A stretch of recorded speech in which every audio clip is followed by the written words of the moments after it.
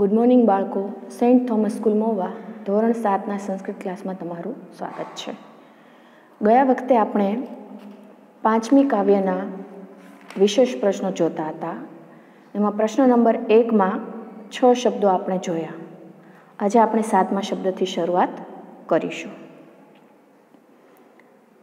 પ્રશ્ન નંબર એકનો સાતમો શબ્દ છે, લાલ તો રક્ત. હ નંબર આઠ છે ભૂરો, નીલહ. પ્રશ્ન નંબર બેમાં છે, નીચેના શબ્દોના સંસ્કૃત સમાનાર્થી શબ્દો લખો.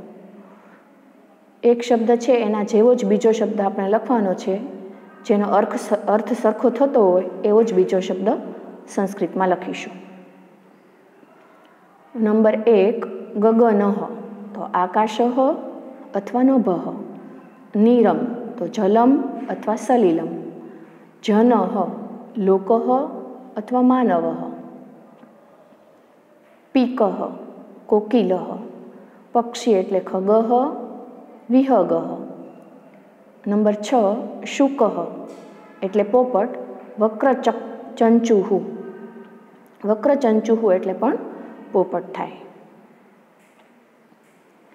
પ્રશ્ન નંબર ત્રણ છે, ચકલી સાથે અન્ય પક્ષીની સરખામણી કરો.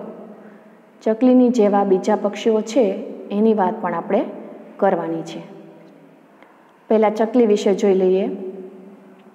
ત્રણ ત્રણ વાક્યો આપણે લખતા જઈશું. નંબર એક છે ચટકહ એટલે ચકલી. પહેલું વાક્ય લખીશું. ચટકસ્ય વર્ણ બભ્રુ અસ્તિ. ચકલીનો રંગ ભૂરો છે અથવા તો રાખોડી છે. નંબર બે ચટકહ લઘુ અસ્તિ. લઘુ એટલે નાની. ચકલી નાની હોય છે. ત્રીજું ચટકહ ચીવમ ચીવમ વદતી. ચકલી ચી ચી બોલે છે. આ ચકલી વિશે આપણે વાક્યો જોયા. એના જેવા બીજું પક્ષી છે કાકહ એટલે કાગડો. એના વિશે પણ આપણે ત્રણ વાક્યો લખીશું. પહેલું લખીશું, કાકસ્ય વર્ણ કૃષ્ણ અસ્તિ. કાગડાનો રંગ કાળો હોય છે. નંબર બે કાકહ બૃહત અસ્તિ. કાગડો મોટો હોય છે, અથવા એનું કદ છે એ થોડો મોટો હોય છે. ત્રીજું કાકહ કા કા વદતી. કાગડો કાં કાં બોલે છે. ત્રીજું પક્ષી લઈશું મયુરહ એટલે કે મોર. મોર વિશે ત્રણ વાક્યો લખીએ. પહેલું, મયુરસ્ય વર્ણ નીલહ અસ્તિ. મોરનો રંગ વાદળી હોય છે. વાદળી અથવા તો ભૂરો અથવા તો આમ તો રંગબેરંગી કહી શકાય. પણ નીલહ એટલે વધારે વાદળી રંગનો હોય છે, એટલે આપણે નીલહ લખીશું. મોરનો રંગ વાદળી રંગ હોય છે. બીજું મયુરહ બૃહત અસ્તિ મોર મોટો હોય છે. ત્રીજું મયુરહ ચણકમ ખાદતી. મોર ચણ ખાય છે અથવા તો ચણમાં નાખેલા અનાજના દાણા ખાય છે. પ્રશ્ન નંબર ચારમાં લખીશું. પક્ષીઓ આપણને કઈ કઈ રીતે ઉપયોગી છે? તો કેવી રીતે ઉપયોગી થાય છે એ આપણે આ આન્સરમાં લખીશું.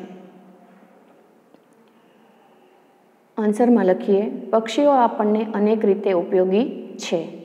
કાગડો, ગીધ અને સમળી જેવા પક્ષીઓ મૃત પ્રાણીઓનો ખોરાક તરીકે ઉપયોગ કરી અને પૃથ્વીને સાફ રાખે છે.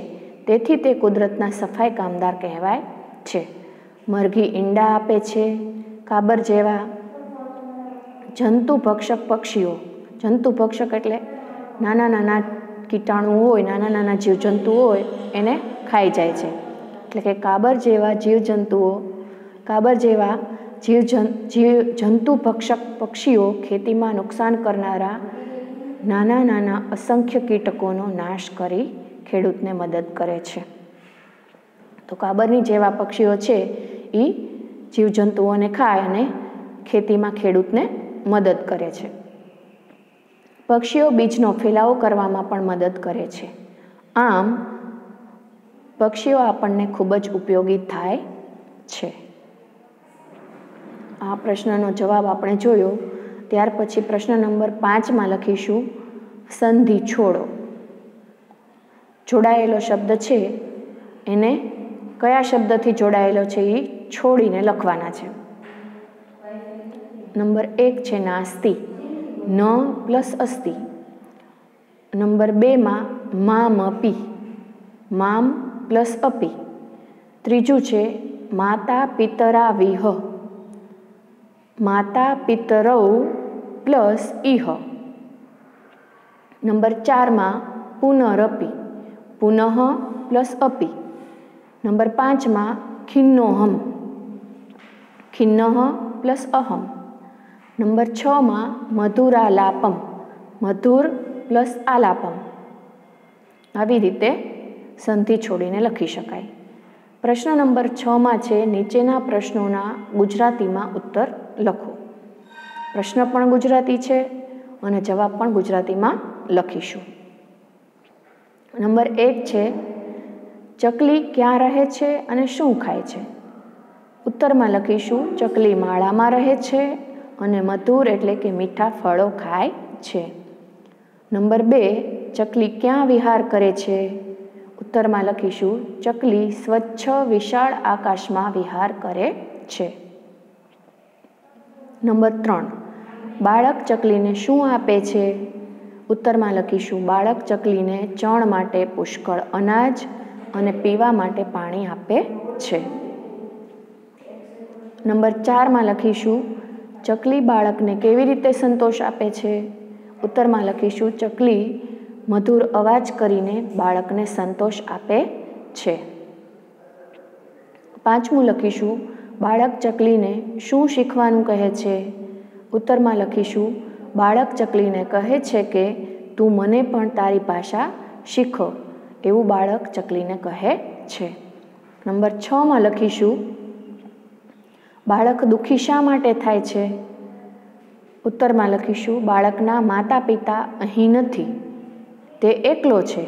આથી બાળક દુઃખી થઈ જાય છે.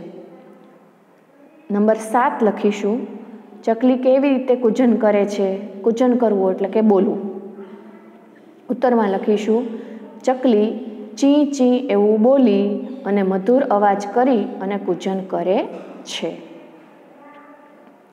આજે આપણે અહીંયા પાંચમી કાવ્ય પૂર્ણ કરી. હોમવર્કમાં તમારે આ વિશેષ પ્રશ્નો પીડીએફમાંથી જોઈ અને સારા અક્ષરે તમારી ફેરબુકમાં લખવાના છે અને એક વખત રફ બુકમાં લખી અને પાકા કરવાના છે. ફરી પાછા આપણે નેક્સ્ટ વિડીયોમાં મળીએ.